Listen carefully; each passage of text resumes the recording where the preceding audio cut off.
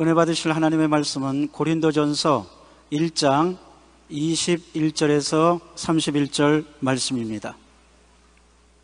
하나님의 말씀을 다 같이 합독하시겠습니다.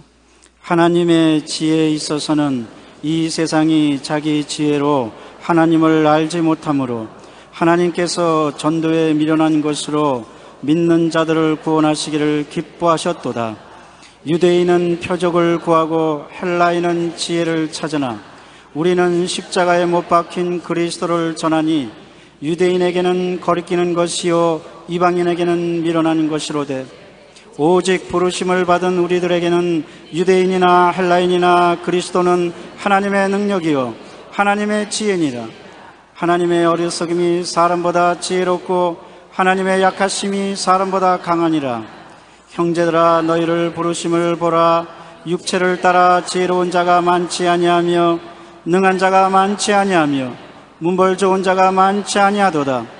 그러나 하나님께서 세상에 미련한 것들을 택하사 지혜 있는 자들을 부끄럽게 하려 하시고 세상에 약한 것들을 택하사 강한 것들을 부끄럽게 하시며 하나님께서 세상에 천한 것들과 멸시받는 것들과 없는 것들을 택하사 있는 것들을 피하려 하시나니 이는 아무 육체도 하나님 앞에서 자랑하지 못하게 하려 하심이라 너희는 하나님으로부터 나서 그리스도 예수 안에 있고 예수는 하나님으로부터 나와서 우리에게 지혜와 의로움과 거룩함과 구원함이 되셨으니 기록된 바 자랑하는 자는 주 안에서 자랑하라 함과 같게 하려 함이라 아멘. 오늘 저는 여러분과 함께 예수님이 택하신 사람들이라는 제목으로 말씀을 나누겠습니다.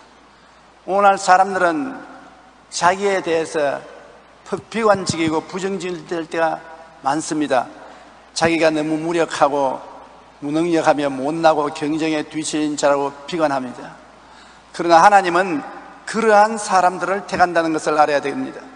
이 세상에 잘났다고 머리를 흔들어 가슴을 뻐기는 사람을 하나님이 사용하는 것이 아니라 자기가 못나고 형편없이 버림받은 사람이고 무능력하고 무력하다고 생각해서 낮아진 사람을 하나님은 들어서 사용하시는 것입니다. 어느 날 성 프란시스에게 한 사람이 찾아와서 물었습니다. 선생님은 그리스도의 기적을 나타내시고 그리스도의 거룩한 영광을 나타내시는 분입니다. 모든 사람들이 선생님을 만날 때 신신한 충격과 도전을 받고 생활에 변화를 경험하는데 그 비밀이 어디 있습니까? 어떻게 해서 하나님이 선생님을 그렇게 훌륭하고 위대하게 사용을 하십니까? 그러자 성 프란시스는 빙긋이 웃으며 이렇게 대답했습니다. 전능하신 하나님께서 어느 날 지구상에 살고 있는 많은 사람들을 살펴보았습니다. 그리고 그 사람들 중에서도 가장 연약하고 가장 무지하며 미련한 사람을 찾아봤다가 성 프란시스를 찾았습니다. 하나님이 불꽃 같은 눈동자가 내게 머물고 조용하고 세미한 음성으로 내게 들려주셨습니다. 내가 너를 통해 나의 지혜로움과 나의 능력을 나타내리라. 이것이 바로 하나님의 일을 감당할 수 있는 비밀입니다. 오늘날 하나님은 자신의 무력함과 무능력을 철저히 깨닫고 낮아진 사람을 택하시고 사용하십니다.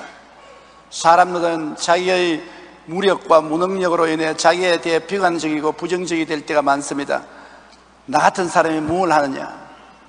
난 너무나 무능하고 교육도 없고 인물도 잘나지 못하고 별 볼일 없는 사람인데 내가 뭘 하겠느냐? 바로 하나님은 그런 사람을 사랑하시고 태하는 것입니다. 하나님은 스스로 자랑하고 높아지고 그만한 사람을 결코 사용하지 않습니다. 그렇기 때문에 우리는 자탄하지 말아야 되는 것입니다. 우리 각 사람이 받은 처지를 성경은 살펴보라고 말합니다. 내 처지를 한번 살펴보라. 내가 육체를 따라 지혜로운 자가 되어서 하나님 나를 택했습니까? 내가 다른 사람보다 지혜가 많아서 사람들에게 박수를 받고 IQ가 높아서 칭찬을 받고 하나님이 이런 사람이 있기 때문에 택해 주셨습니까? 그렇지 않잖아요. 가만히 자기를 생각해봐도 바보 같습니다. 저는 50년 목회를 했지만 돌이켜보면 바보 같아요. 왜 이 바보 같은 사람을 하나님이 택했을까?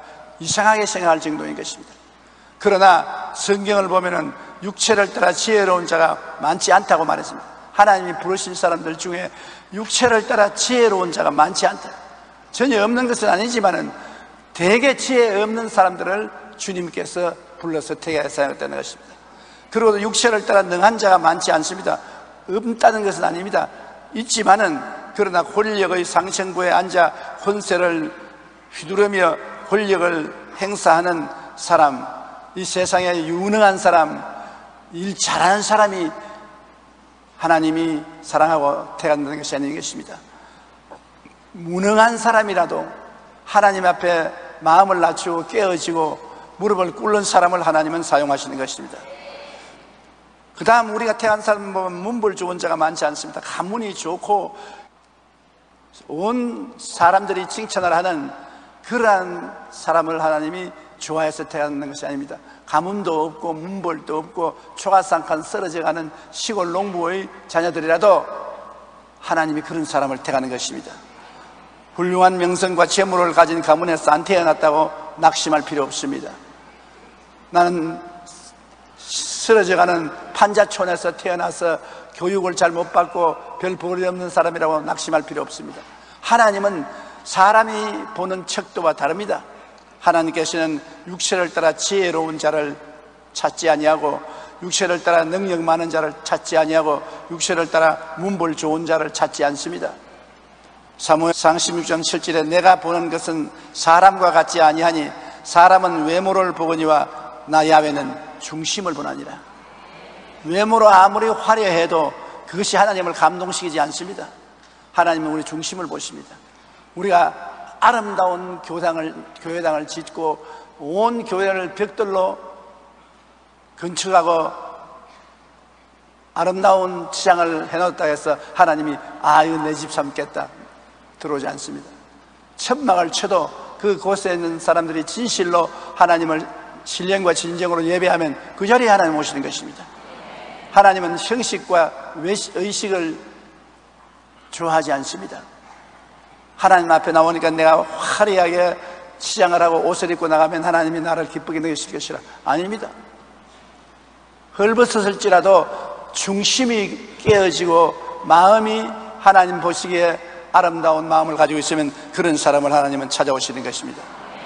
그러므로 부름받은 우리의 처지를 살펴보고 낙심하지 말아야 됩니다. 복음 전파의 과정을 보면 일반적으로 힘있고 능력 있는 사람들은 기독교의 복음을 멀리하고 가난하고 병들고 고통에 처한 사람들이 복음을 쉽게 받아들이는 경향이 있습니다.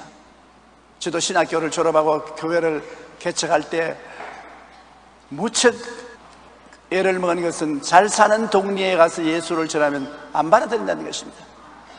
그들은 지금 현재 돈, 지위, 명예, 권세, 쾌락에 취해 있어서 그리스도를 받아들이지 않습니다. 귀뚱으로 넘깁니다. 예수님을 진실하게 받아들이는 사람은 대개 가난하고 병들고 못나고 실직자로 빈손든 사람들이 복음을 잘 받아들입니다. 우리나라 기독교 초기 역사에서도 복음을 받아들인 사람들은 대부분 가난하고 헐벗고 힘없고 못 배운 사람들이었습니다. 그래서 외국 선교사들이 가져다 주는 구호물자 옷보따리가 교회에 오면 잔치 분위기가 되는 것입니다. 그런 날에는 교회가 완전히 축복 분위기가 되어서 성도들이 제비를 뽑아서 물건을 나누어 가고 좋아하곤 했습니다. 또한 가난하고 무식하여 못 배운 사람들이 많아서 교회는 사람들을 모아 글을 가르치고 공부를 시켜주는 성경 구락부라는 것이 있었습니다. 요 사이는 성경 구락부가 교회에 없지만은 옛날에는 교회에 나오는 사람들의 자녀들이 너무 가난하기 때문에 대개 학교를 못 갔습니다. 그래서 성경 구락부라는 것을 만들어서 그곳에서 중학교, 고등학교 과정을 가르쳤습니다. 제가 51년 전 목회를 처음 시작했을 때도 저희 교회에 나온 성도들은 대부분 가난하고 헐벗고 굶주리고 배우지 못하고 세상에서 선대받고 멸시받는 사람들이 모여서 우리 교회를 시작한 것입니다. 하나님의 부르심을 받은 성도들은 대부분 가난하고 보잘것없는 사람들로 지혜로운 자가 많지 않고 능한 자나 문벌 좋은 자가 많지 않기 때문에 내가 지혜롭지 못하고 능하지 못하고 문벌 좋지 못하다고 탄식하지 말아야 되는 것입니다. 그런 것은 하나님과 관계없습니다. 저는 천막교회 개척을 할 때 버스비가 없어서 대저동에서 서울 시내 나오는데도 걸어서 나오고 돌아갈 때도 걸어서 돌아갔습니다. 옷도 극심할 것 없어요. 한 벌만 가지면 봄, 여름, 가을, 겨울 그대로 입습니다. 두 벌 갈아입을 옷이 없었습니다. 내복도 한 물밖에 없기 때문에 사람 다 자는 밤중에 빨래해서 빨리 말리지 사람 있는 데는 빨래도 할 수 없었습니다. 떨어진 천막에 가만히를 깔고 있었는데 그래도 내가 하나 생각할 때 무엇이든지 있으면 11조를 드렸습니다. 좌우간 누가 나에게 무엇을 주시든지 빵을 주든지 쌀을 주든지 돈을 주시든지 무엇이 주면은 그걸 떼서 11조로 하나님께 드리고 하나님께 드리지 못할 것은 가난한 사람에게 나누어 주었습니다. 원래 하나님께 드리기를 좋아했고 이웃에게 주기를 좋아하는 것이 저의 성격이었습니다. 그 결과로 오늘날 51년의 목회 생활을 돌아보면 하나님이 상상할 수 없는 축복과 은혜를 베풀어 주셨습니다. 왜 벗은 자라야 입힐 수가 있고 빈 그릇에야 채울 수가 있는데 하나님 앞에서 자꾸 벗어버리고 자꾸 빈 그릇으로 만드니까 하나님이 점점 많이 채워주시고 그릇을 크게 할수록 더 많이 채워주신 것입니다. 저는 목회 생활을 통해 경험하고 배워서 잘합니다. 현재는 가난하고 못 배우고 세상 권력도 없지만 지금 내게 있는 것으로 하나님께 심고 이웃에게 나누고 베풀 때 하나님께서는 넘치는 복으로 채워주셔서 못 배워도 그 사람을 사용해서 크게 사용하는 것입니다. 무지해도 그 사람을 사용해서 능력 있게 사용하시는 것입니다. 돈이 없어도 그 사람을 사용해서 큰 일을 이렇게 세우시는 것입니다. 하나님이 택하신 사람들이 어디 가나 세상을 이기는 것입니다. 예수 믿는 사람이 이 세상에 이기지 못하고 말죄가 되고 형편없는 사람이 된 일이 없습니다. 빈 그릇은 하나님이 채우시고 벗은 자는 이 피해서서 반드시 예수 믿는 사람들이 어느 곳에 가는 곳마다 머리가 되고 꼴이 되지 않고 위에 있고 아래 내려가지 않고 남에게 꾸어줄 줄도 꾸지 않게 만들어 주시기를 원하시는 분이 하나님이신 것입니다. 성경에 그렇게 말하고 있지 않습니까? 내 영혼아 야외를 송축하라. 내 속에 있는 것들아 다 그 성호를 송축하라. 내 영혼아 야외를 송축하며 그 모든 은택을 잊지 말지어다. 제가 내 모든 죄악을 사하시며 내 모든 병을 고치시며 내 생활을 파멸에서 구속하시고 인자와 긍휼로 관을 씌우시며 좋은 것으로 내 소원을 만족해서 내 청춘으로 독수리같이 새롭게 한도다 이것이 하나님이 원하시는 것입니다. 사랑하는 자여 내 영혼이 잘됨같이 내가 범사에 잘됨에 강건하기를 내가 강구하노라. 도적이 오는 것이 도적질하고 죽이고 멸망시키는 것뿐이요. 인자가 온 것은 양으로 생명을 얻게 하고 더 풍성히 얻게 하리 함이라. 우리 하나님은 하나님을 믿고 받아들이는 사람에게 들어와서 큰 변화를 일으켜 주시는 것입니다. 성경에는 하나님께서 세상에 미련한 것을 택하여서 지혜로운 자를 이기게 한다고 말한 것입니다.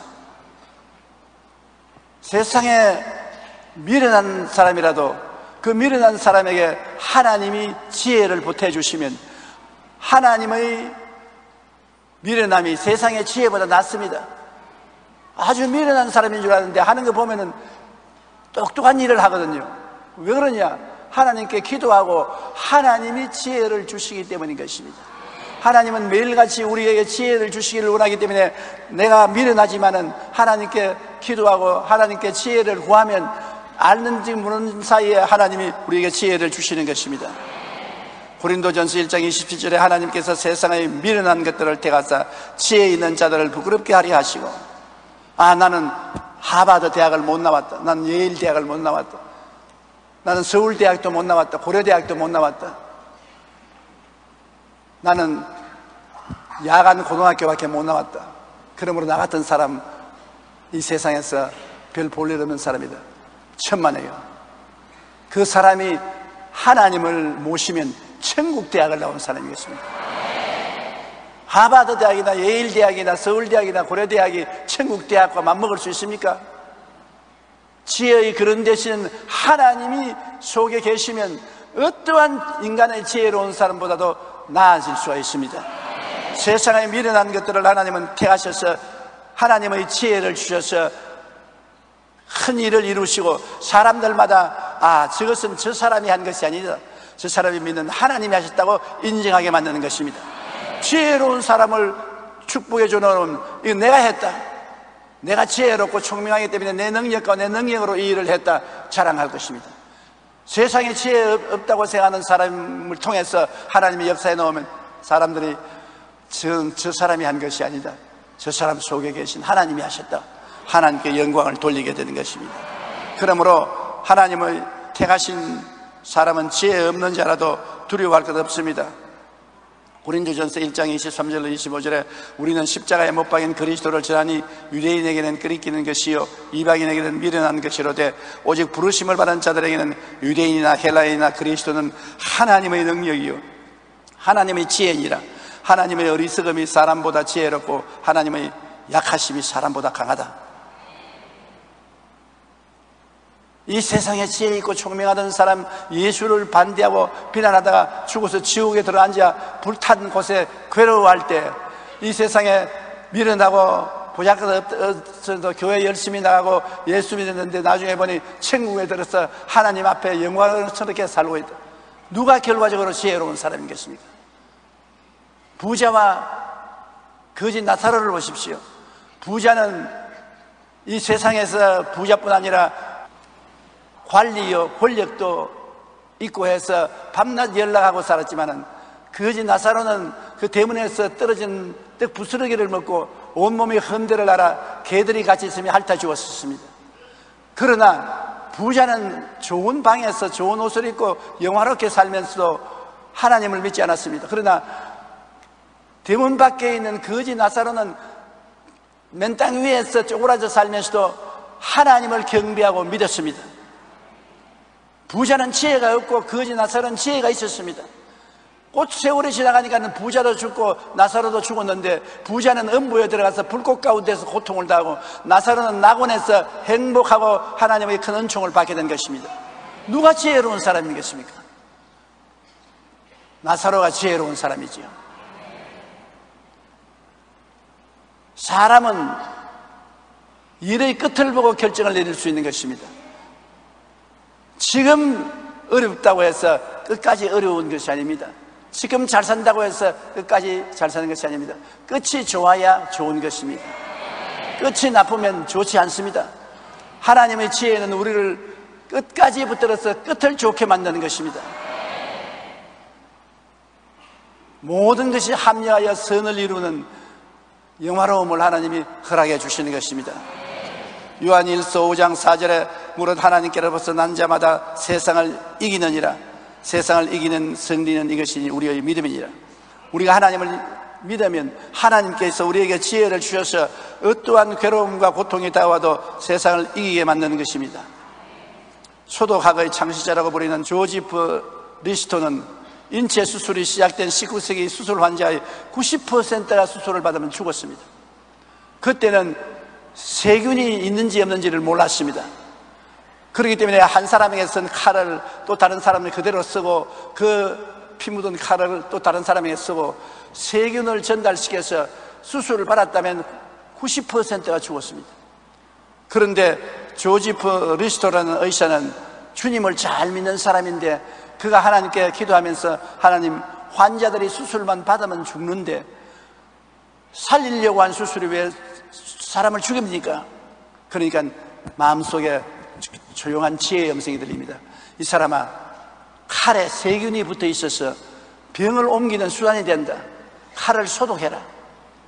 그래서 다른 사람들이 다 비웃는데도 불구하고 조지프는 수술하기 전에 불에다가 칼을 소독시켰습니다. 활활 붙는 불에 칼을 집어넣어서 칼을 소독시키고 난 다음 수술했는데 조지프가 수술한 사람은 80%가 다 살아났습니다.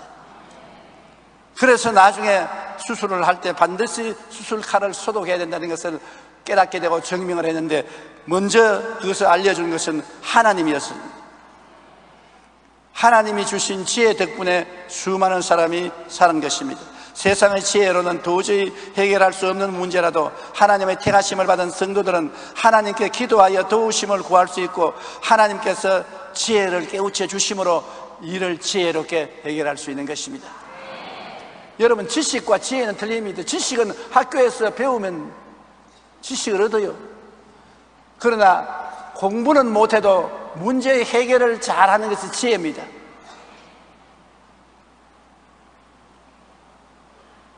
사람이 지혜가 있으면 어려운 문제를 쉽게 쉽게 해결합니다.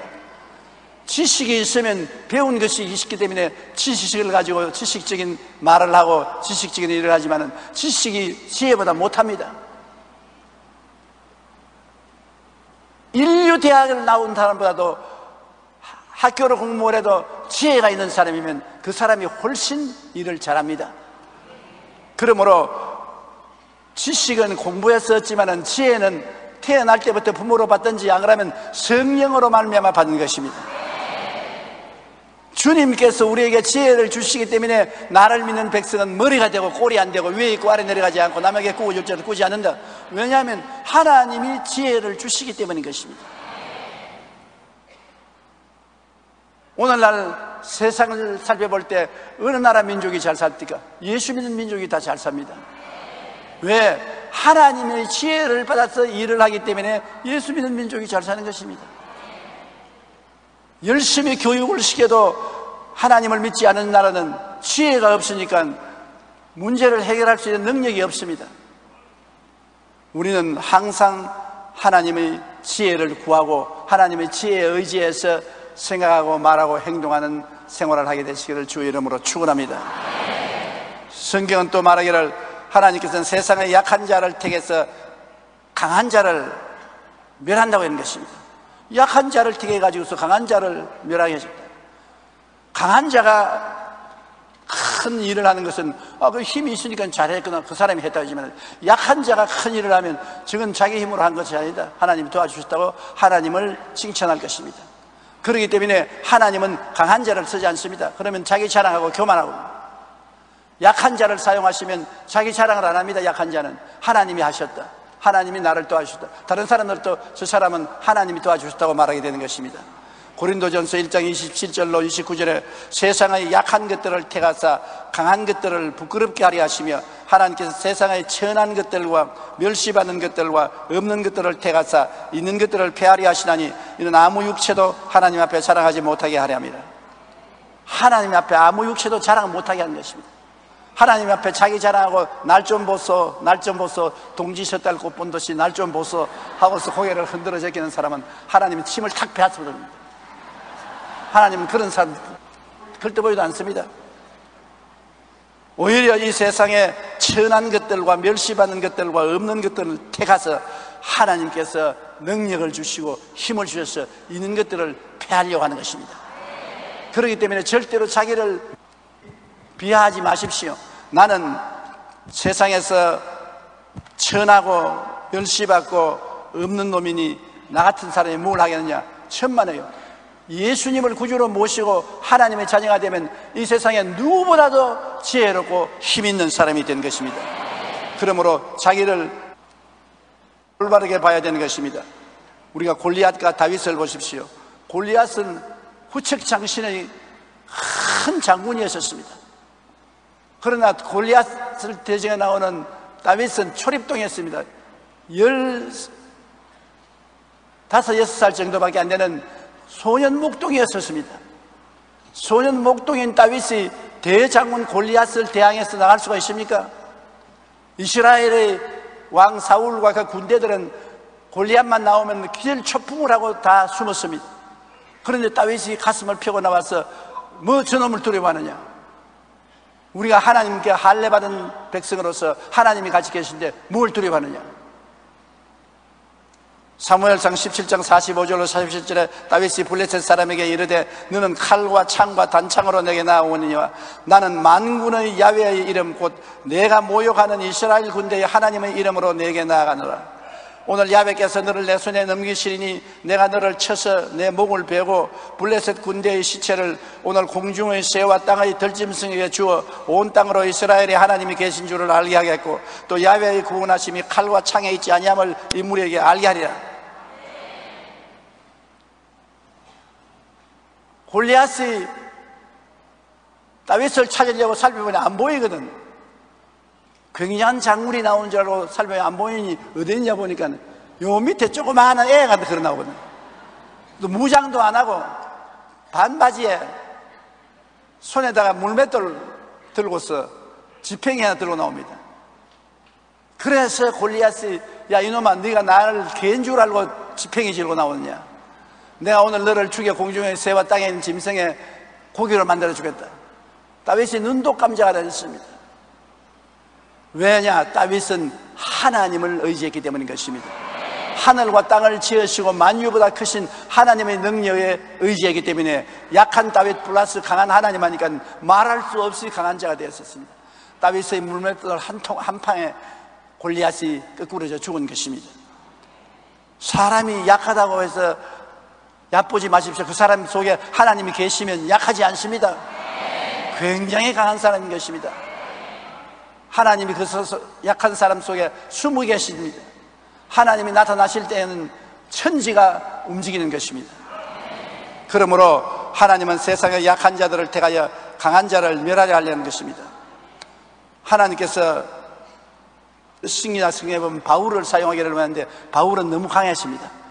바울은 그 당시에 최고 학부를 졸업했습니다. 최고 학부인 가브리엘 문화생이었습니다. 그리고 바리새 교인 중에 바리새 교인이었습니다. 열렬한 청년이었습니다. 너무 잘났습니다. 그래서 하나님은 바울을 쓰고 싶었지만 그대로는 쓸 수 없었습니다. 그래서 다메섹 도상에서 그에게 나타나서 거꾸로 떨리게 하시고 장님을 만들으시고 나중에 장님을 고쳐서 예수를 믿게 하시고 난 다음에 바울에게 무엇을 하셨냐 육체의 가시 사탄의 사자를 보냈습니다.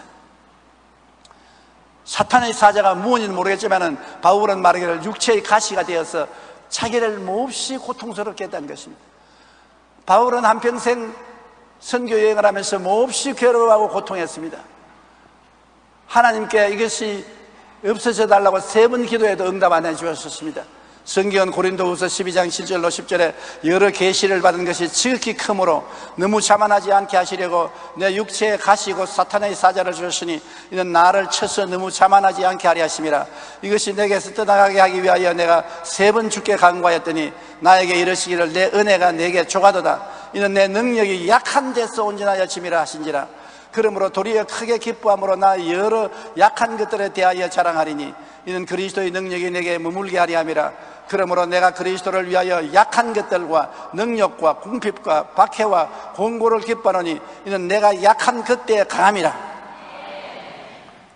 한번 따라 읽어주십시오. 내 능력이 약한 데서 온전하여짐이라 우리가 약할 때 하나님께 의지하지요. 강하면 의지하지 않습니다. 내가 잘 먹고 잘 입고 잘 살고 왕기왕상하고 만사가 형통하면 기도하지 않습니다 헐벗고 굶주리게 되고 약하고 병들게 되면 기도하지 말아 해도 해요. 그냥 있을 수가 없으니까 아이고 하나님 나를 살려주소. 나를 도와주십시오. 기도 안 할 수가 없어요. 바울은 강단에 설 때마다 하나님께 기도했습니다. 하나님 쓰러지지 않고 설교하게 하여 주시옵소서. 여행할 때마다 기도했습니다. 하나님 병들어서 들어눕지 않고 걸어 다니게 해 주시옵소서.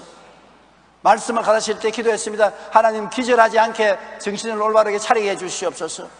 너무나 약했기 때문에 순간순간 하나님께 부르짖어 기도했고 하나님께서 힘이 되어 주신 것입니다. 여러분 하나님께 부르짖어 기도해야 하나님이 우리에게 은혜를 주시는 것입니다. 기도하지 않고 의지하지 않는데 하나님이 우리에게 힘과 능력을 줄 리가 없습니다. 여러분도 여러분의 삶 속에 기도하고 하나님께 의지할 때 하나님이 같이 하시는 것입니다. 그러므로 항상 기도해야 되는 것입니다. 항상 하나님께 의지해야 되는 것입니다. 무엇이든지 내가 잘한다, 내가 할 수 있다, 나면 무엇인지 할 수 있다고 생각하면 큰 오해인 것입니다. 나라는 것이 죽어야 하나님이 살아나는 것입니다. 내가 그리스도와 함께 십자가에 못 박였나니 이제 내가 산 것은 내가 아니요 내 안에 그리스도께서 사신 것이라고 말씀한 것입니다. 바울 선생은 하나님께서 그를 크게 치셔서 늘 약하게 만들어서 그를 사용하신 것입니다. 우리 예수 믿는 사람이 왜 담대해야 되느냐? 우리의 신분을 깨달아 알아야 되는 것입니다. 성경에는 너희는 하나님께로부터 나서 그리스도 예수 안에 있고 예수님은 하나님께로서 나서 너에게 지혜와 어려움과 구수감, 구수감이 되었다고 말씀하신 것입니다. 우리가 예수를 구주로 믿는 것은 우리 힘으로 믿는 것 아닙니다. 하나님께서 부르셔서 예수님 안에 있게 만드는 것입니다. 여러분 오늘 여의도 순복음교회 사부 예배에 나와 계시니 내가 예수를 믿고 싶어서 나왔다고 생각하면 오해입니다. 예수 부하셨습니까? 예수님의 음성을 들어본 적이 있습니까? 악수라도 한번 했습니까? 예수님 향기라도 한 맡았습니까? 전혀 보지도 듣지도 만지지도 못한 예수를 어떻게 믿습니까? 하나님이 불러셨기 때문에 믿은 것입니다. 내가 아는지 모르는지 내 속에 하나님이 나를 불러셨습니다. 에베소 1장 4절로 5절 우리 다 같이 소리내 읽어보십시다. 곧 창세 전에 그리스도 안에서 우리를 택하사 우리로 사랑 안에서 그 앞에 거룩하고 흠이 없게 하시려고 그 기쁘신 뜻대로 우리를 예정하사 예수 그리스도로 말미암아 자기의 아들들이 되게 하셨으니 기가 막히지 않습니까? 창세 전에 우리를 택했습니다. 하늘과 땅과 해와 달과 별들이 만들어지기 전에 여러분이 어머니 뱃속에 생겨나기 전에 아늑한 옛날에 그때 벌써 하나님은 여러분을 아시기 때문에 여러분을 택하셨다. 하나님이 조용기를 택하셨습니다. 여러분, 여러분 이름을 말하고 택했다고 말하십시오. 하나님이 여러분 이름을 말하십시오. 택했다. 하나님이 택하신 자를 누가 넘어뜨릴 수가 있는 것입니까? 하나님이 택하신 자를 누가 넘어뜨리고 빼앗아갈 수가 있습니까? 여러분은 보통 사람이 아니라 하나님의 택하심을 받은 사람인 것입니다. 아주 감격적이고 감동적인 것입니다. 나 같은 죄인을 왜 택했는지 모르겠지만 하나님이 택하사 우리를 예수 그리스도의 사랑 안에서 거룩하고 흠이 없게 하시려고 기쁘신 뜻대로 예정해서 하나님의 아들들이 되게 한 것입니다. 그러므로 우리 공로가 아무것도 없습니다. 우리는 우짜다가 보니까 하나님의 부르심을 받고 태감을 입어서 하나님 백성이 되었으니 이 얼마나 놀라운 일인 것입니까? 그것이 예수 믿는 사람 형태인 것입니다. 그러기 때문에 하나님이 24시간 여러분과 같이 계신 것은 하나님 것이기 때문에 하나님이 여러분을 하나님 포켓에 넣어서 가지고 다니는 것입니다. 여러분, 요사이 모든 사람들이 핸드폰을 가지고 다닙니다. 남자들은 포켓에 넣고 여자들은 핸드백에 넣어서 늘 필요함으로 가지고 다닙니다. 하나님은 여러분의 핸드폰을 가지고 다니듯이 여러분을 가지고 다니시는 것입니다. 하나님 포켓에 넣어서 다니는 것입니다. 제2차 세계대전이 한창일 때 영국의 큰 기선이 데스양을 건너 미국으로 가게 되었습니다. 그 배는 전쟁 중에 중대한 임무를 띠고 가는 것인데 그가 가는 백길에 독일의 군함들이 처치에 지키고 있었습니다. 큰 위험이 따랐습니다. 영국 기수는 출발하기 전에 위에서 오는 지시를 기다렸습니다. 상부에서 무조건 앞으로만 갈 것이라고 말했습니다. 문제가 생길 때는 무전으로 연락하고 지시를 받지 절대로 선장 마음대로 앞으로 가든지 뒤로 가든지 하지 말라는 명령이 떨어졌습니다. 영국 기세는 미국을 향해 대서양을 가로지르기 시작했는데 며칠 뒤에 적군의 함대가 가까이 있는 것을 발견하고 즉시 무전을 쳤습니다. 적군이 가까이 있으면 어떻게 할까요? 그래 대답이 왔습니다. 두려워하지 말고 무조건 하고 항해를 계속하라. 항해사들은 얼굴에 땀을 뻘뻘 흘렸습니다. 그러다 명령이 떨어지니까 불안하지만 계속해서 미국으로 미국으로 향해 갔었습니다. 후사일생으로 미국 항구에 도착하자마자 선장이 가판에 올라와서 땀을 닦고 휴 하고 숨을 내쉬니까 아 자기 옆에 뭐가 시커먼 게 쑥 올라옵니다 깜짝 놀라보니까 영국의 잠수함이 늘 곁에 따라왔어요 기선이 오는데 잠수함이 곁에 붙어서 바짝 물 속에서 따라왔기 때문에 상부에서는 염려하지 말고 나가라는 이유가 거기에 있었습니다. 그러나 선장은 그 잠수함을 못 보았습니다. 늘 두려워하면서 벌벌 떨며 왔지만은 태서양 내내 잠수함은 그 기선 옆에 물속에서 따라온 것입니다. 여러분 하나님은 여러분이 안 보이지만 여러분 뒤에 숨어서 늘 따라오는 것입니다. 아, 내가 겨우 이 시련과 환란을 이겼다. 이 땀을 닦으면 하나님이 웃으십니다. 내가 따라오면서 도와주었다. 내가 아니었으면 네가 이겼겠느냐. 볼지어다 내가 항상 너와 함께 있나니라고 말하는 것입니다.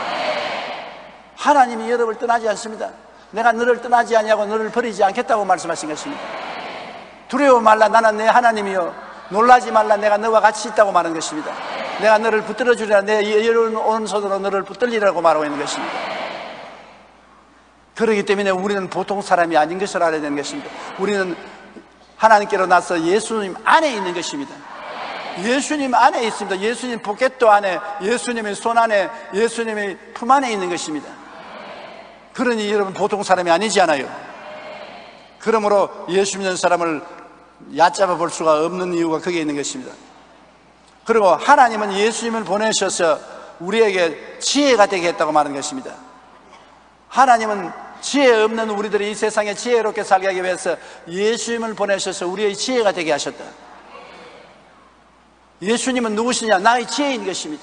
나는 지혜가 없으나 예수 그리스도의 이름을 부르고 의지할 때 예수님은 나의 지혜가 되시는 것입니다. 골로새 2장 2절로 3절에 이런 그들로 마음의 위안을 받고 사랑 안에서 연합하여 확실한 이해의 모든 풍성함과 하나님의 비밀인 그리스도를 깨닫게 하려 함이니 그 안에는 지혜와 지식의 모든 보화가 감추어지느니라. 예수님 안에는 온 우주의 지혜와 지식이 가득 차 있는 것입니다. 그 예수님이 우리에게 지혜로 주신 것입니다. 오늘 여러분 다 지혜로운 분인 것입니다. 여러분 스스로 지혜 있는 것이 아니라 여러분 속에 지혜인 예수님이 와 계시기 때문인 것입니다. 따라 말씀해서 예수님은 나에게 지혜가 되셨다. 에베소 1장 8절에 이는 그가 모든 지혜와 총명을 우리에게 넘치게 하신다고 말씀하신 것입니다. 그 다음엔 예수님이 또 우리에게는 의로움이 되시는 것입니다. 스스로 의롭게 된 사람이 없습니다. 세상에 죄 없는 사람이 있어요? 태어났으니까 죄를 한 번도 안 지은 사람 손으로 보세요. 내가 돈 많은 줄 테니까. 한 사람도 없네. 돈 억만금을 준다 해도 죄를 한 번도 안 짓고 산 사람은 없습니다. 그러나 로마서 3장 23절로 24절에 모든 사람이 죄를 범하였음에 하나님의 영광에 이르지 못하더니 그리스도 예수 안에 있는 속량으로 말미암아 하나님의 은혜로 값없이 의롭다 하심을 얻은 자가 되었나니라. 예수님이 우리 일생의 죄값을 십자가에서 다 청산해 버리기 때문에 우리는 이래나 저래나 예수 덕분에 죄 없는 사람이 되고 마는 것입니다. 우리가 일생에 1조 원의 빚을 졌다면은 일생에 1조 원 빚을 못, 못 갚습니다. 그런데 주님이 와서 1조 원의 빚을 갚아주었으므로 이제 나는 빚이 없습니다. 빚은 내가 졌지만 갚기는 예수님이 갚았으니까 예수님이 갚아주었으니까 내가 빚 갚는 것과 같은 것입니다. 죄는 내가 지었는데 벌은 예수님이 받아버렸는 것입니다. 다 이루었다. 내가 죽을 때까지 지을 죄를 예수님이 다 청산해 버린 것입니다. 그러므로 여러분은 용서받은 의인이 된 것입니다. 따라 말씀해서 나는 용서받은 의인입니다. 행위로 의인이 된 것이 아닙니다. 용서받은 의인인 것입니다. 그러므로 용서받은 의인이 되었으므로 의인처럼 살아야 되는 것입니다. 고린도후서 5장 21절에 하나님이 죄를 알지도 못하신 일을 우리를 대신하여 죄로 삼으신 것은 우리로 하여금 그 안에서 하나님의 의가 되게 하려 하십니다. 의로움이란 무엇입니까?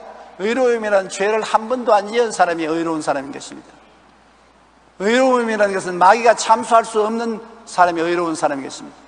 의로운 사람이란 하나님 앞에 부끄럼 없이 설 수 있는 것이 의로운 사람인 것입니다. 우리 힘으로는 안 돼요. 예수님의 보혈을 의지하면 되는 것입니다. 그러면 더구나 우리가 숨이 넘어가려고 할 때 온 전력을 기울여 주의 피를 의지합니다. 주의 피를 의지합니다. 주의 보혈을 의지한다면 주의 보혈이 여러분을 붙잡고 나가면 당당하게 하나님 앞에 설 수 있는 것입니다. 보혈 없이 어떻게 하나님 앞에 섭니까? 보혈 없이는 하나님 앞에 설 수 없습니다. 주님의 보혈, 주님의 보혈, 보혈을 잘 마시네. 이스라엘의 이스라엘의 거룩한 제사같이 흐르고 있네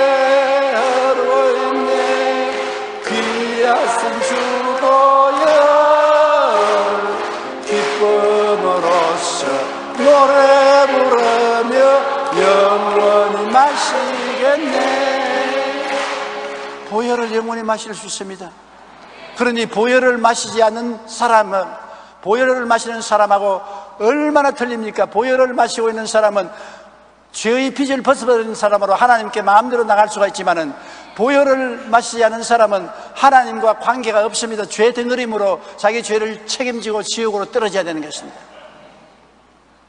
그러므로 예수님은 우리에게 와서 의로움이 되었었습니다. 보혈을 흘려서 의로움을 주셨습니다. 그리고 또 예수님은 우리에게 와서 거룩함이 되셨습니다. 우리는 거룩함이 없어요. 우리는 다 더럽지 않습니까? 거룩하다는 것은 깨끗한 것을 말하는 것입니다. 집에 들어올 때 목욕 안 하고 온몸에 때 냄새가 나고 기름 냄새가 나오면 더럽지 않습니까? 더러운 것이 깨끗이 씻으면 거룩하다, 깨끗한 것을 거룩하다고 말하는 것입니다. 인생을 살면 여러분 생각이 더럽고 말이 더럽고 행동이 더럽고 삶이 더럽습니다. 깨끗하지 못합니다. 그럼에도 불구하고 예수님께 기도하면 예수님이 성령으로 우리를 깨끗하게 만들어 주시는 것입니다. 히브리서 10장 10절에 이 뜻을 따라 예수 그리스도의 몸을 단번에 들이심으로 말미암아 우리가 거룩함을 얻노라. 예수님께서 십자가에서 우리 더러운 것은 단번에 다 씻어버리기 때문에 예수 이름만 부르면 우리가 깨끗해지는 것입니다. 거룩해지는 것입니다. 얼마나 놀라운 일인 것입니까? 고린도전서 6장 11절에 주 예수 그리스도의 이름과 우리 하나님의 성령 안에서 씻음과 거룩함과 의롭다 하심을 받았느니라. 예수님의 보혈과 하나님의 성령의 씻음을 통해서 여러분과 나는 거룩하게 되어서 하나님 앞에 더럽지 않고 취하지 않고 깨끗하게 나갈 수가 있는 것입니다. 그러니 예수 그리스도 안에서 주는 은총이 얼마나 큽니까? 마지막으로 주님 안에서 주님이 우리에게 구원이 되시는 것입니다. 로마서 5장 9절에 그러면 이제 우리가 그의 피로 말미암아 의롭다 하심을 받았으니 그 그로 말미암아 진노하심에서 구원을 받을 것이라. 물에 빠진 사람이 허우적이게 있을 때 필요한 것은 구원입니다. 그보고 당신 훌륭한 사람이다, 지혜로운 사람이다, 인물이 잘난 사람이다, 옷도 잘 입고 맵새 있는 사람이다. 물에 빠져 죽어가는 사람에게 그렇게 해봤자 무슨 소용이 있습니까? 물에 빠져서 죽어가는 사람을 건져주는 것이 제일 중요한 것입니다. 죽어가는 사람 보고서 위대한 사람이었다, 위대한 인물이었다. 크나큰 일, 좋은 일을 하셨다. 그게 칭찬이 무슨 소용이 있습니까? 사람이 죽고 나면 다 잊어버린 것입니다. 구원을 받아야 영원히 살 수 있지. 이 세상에서 아무리 기억된다 해도 그것이 무슨 소용이 있어요? 고린도전서 1장 30절, 31절 우리 다 같이 읽어 보십시다. 예수는 하나님께로부터 나와서 우리에게 지혜와 의로움과 거룩함과 구원함이 되셨으니 기록된 바 자랑하는 자는 주 안에서 자랑하라 함과 같게 하렵니다. 보십시오. 예수님께서 바로 우리 지혜가 되시고 의로움이 되시고 거룩함이 되시고 구원함이 되신 것입니다. 예수를 구주로 믿으시면 아멘 하십니다. 그럼 구원받은 사람이에요. 여러분은 구원받은 사람이에요. 예수님이 바로 구원입니다. 구원을 찾아서 산과 들로 다닐 필요가 없어요. 예수님이 구원이기 때문에 예수님을 모시면 바로 구원받은 사람인 것입니다. 예수님 하나님께로부터 나서 우리에게 지혜와 의로움과 거룩함과 구원함이 되신 것입니다. 우리는 하나님께로 와서 예수님 안에 있습니다. 그러니 모든 것이 은혜 아닙니까? 우리는 만세전에 하나님께로부터 택함을 받아서 예수님 안에 들어오게 하나님 만들어 주셨고 예수님 우리 안에 들어오셔서 우리에게 우리 지혜가 되시고 의로움이 되시고 거룩함이 되시고 구원함이 되신 것입니다. 그러니 예수 믿는 사람 팔자가 늘어진 것입니다. 제가 뉴욕에서 집회할 때 유명한 신문사 기자가 와서 내게 물었었습니다. 목사님은 세계적인 주의 종이니까 한 가지 묻겠습니다. 인생이란 무엇입니까? 와, 그 장스러운 질문을 하는데 기가 막히더라고요. 당장 그 말이 신문, 신문 기사에 쫙 나갈 것이기 때문에 내가 지혜가 없으니까 주님께 물었습니다, 속으로. 주님, 인생이란 무엇이라고 묻는데 뭐라고 대답할까요? 그래 주님이 지혜를 주셔요. 인생이 뭐라고요? 밥 먹고 사는 겁니다. 그러니까 막 기자가 배를 하고 묻더라고요. 밥 먹고 사는 거라. 안 그렇다고도 할 수 없고 그렇다고도 할 수 없지 않습니까? 인생이란 뭡니까 여러분? 밥 먹고 사는 거지. 어떤 사람은 잘 먹고 어떤 사람은 잘 못 먹고 그거 다르지. 밥 먹고 살다가 결국은 죽는 것밖에 없는 것입니다. 우리 역사를 통해서 보십시오. 위대하고 훌륭한 사람 다 밥 먹고 살다가 죽었습니다.